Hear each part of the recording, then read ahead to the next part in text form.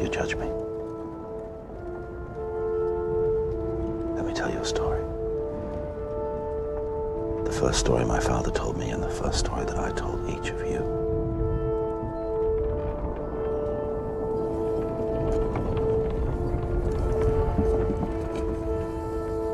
In the beginning,